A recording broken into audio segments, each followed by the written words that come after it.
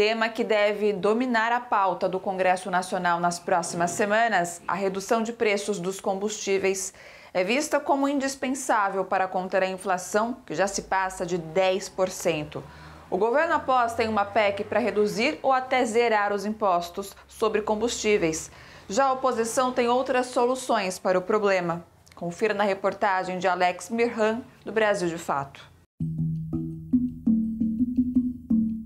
O preço da gasolina está nas alturas. Em alguns estados chega a custar mais de R$ 7,00 o litro na bomba. O diesel também começa o ano quase 8% mais caro do que o preço praticado até o fim do ano passado, e nem uma leve redução do etanol trouxe qualquer efeito ao consumidor. Quatro propostas tramitam no Congresso com a missão de reduzir o preço dos derivados de petróleo. A mais recente é a PEC dos combustíveis, endossada pelo senador Flávio Bolsonaro e apelidada como PEC Kamikaze pela equipe econômica do próprio governo. Parlamentares do PT avaliam que a PEC deve enfrentar grande resistência, especialmente dentro do Senado, onde precisa de 47 dos 81 votos possíveis para avançar.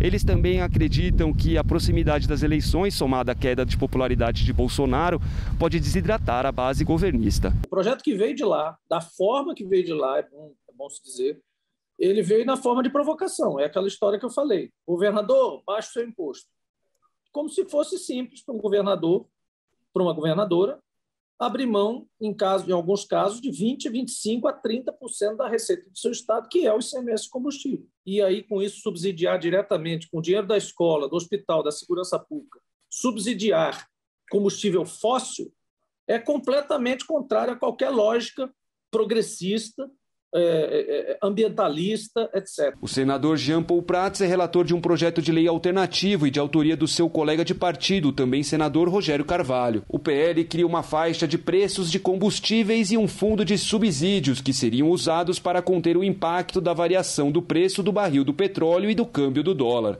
A nossa proposta é quando o, o petróleo ultrapassa 40 dólares o barril, é muito lucrativo tem que ter uma taxação desse petróleo. Essa taxação é para desestimular a exportação do petróleo cru e estimular o refino de parte dele aqui.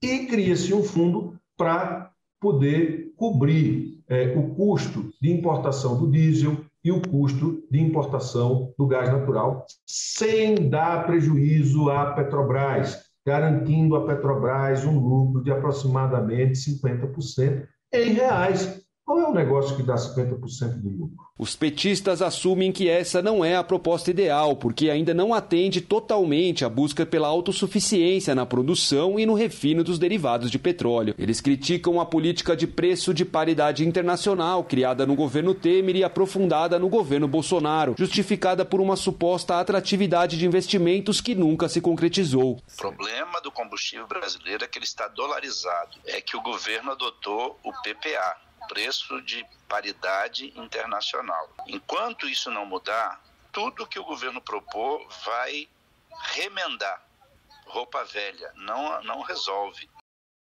Gente, bora fortalecer a TVT? É só clicar em inscrever-se e depois clicar no sininho. Pronto! Assim que pintar notícia nova, você fica sabendo no ato.